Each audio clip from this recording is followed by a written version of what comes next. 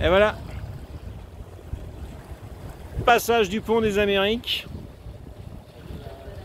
Donc derrière, le Pacifique réellement. Un grand moment, une nouvelle aventure.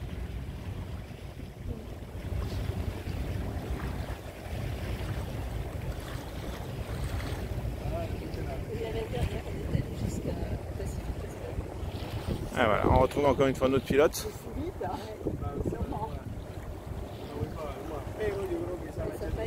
Allez, on revient sur le pont quand même.